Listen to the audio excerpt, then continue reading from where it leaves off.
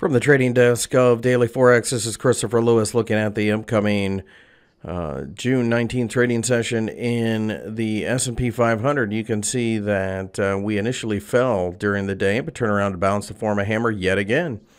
Uh, that is um, just a recurring theme every time we dip. The buyers come back, so I think that it's only a matter of time before uh, the uh, buyers jump right back in. The 2400 level underneath should continue to be the floor.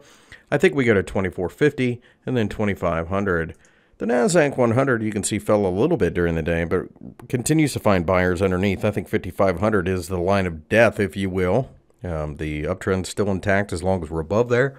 I think we go to 5,900 and then 6,000. I'm willing to buy on dips. It's a longer term buy and hold type of mentality that we see over here.